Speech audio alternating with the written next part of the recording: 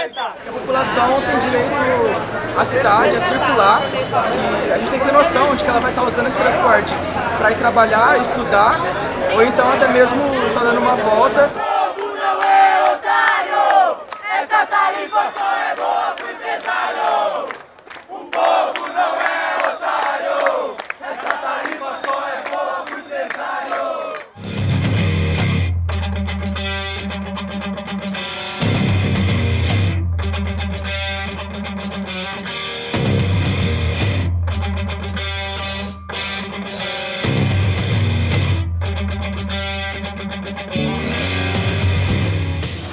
Seguinte, a tarifa aumentou, foi para 3,40, a gente não tem condições de pagar, estudantes, trabalhadores são pouco a mão armada com, a gente, entendeu? A gente não tem condições. Mais injusto! A prefeitura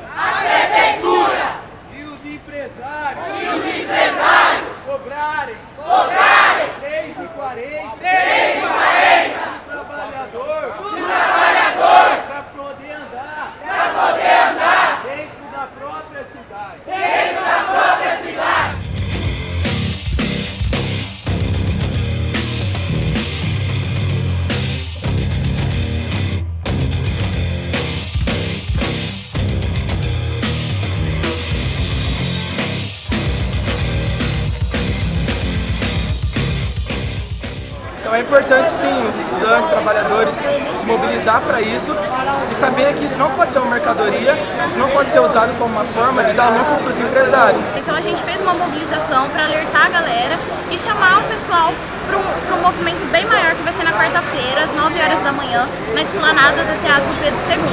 Entendeu? Então assim, gente, por favor, quem puder comparecer, vai, entendeu? Chama a família, porque a gente está lutando por um direito que é de vocês também, tarifa zero já. O povo não aguenta 3,40